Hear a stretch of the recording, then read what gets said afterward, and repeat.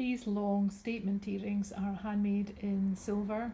The silver is forged and it has gold detail at the top. There are two pearls hanging at either ends in each earring.